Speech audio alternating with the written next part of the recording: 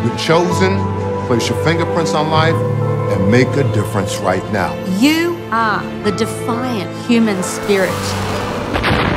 Every adversity carries a seed of a greater good. Dreams matter so much. What do you want? What do you really want? What is a normal life? 74, or 77 years on Earth? That only equates to 30,000 days on Earth. Time is not running out, but your life is. The hardest thing to actually master is faith. When you get to that level, you feel like you're manipulating reality. Dreams are the spark plugs of the spirit.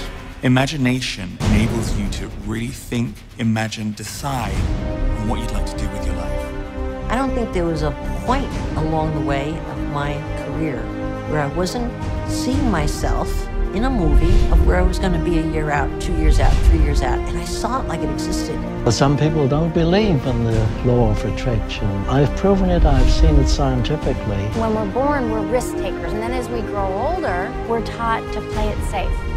A burning desire is an inner candle, an inner flame that can never be extinguished. And no matter what may go before you, come hell or high water, you are going to bet your existence on this burning desire. The biggest dream you ever had in your life is alive and well.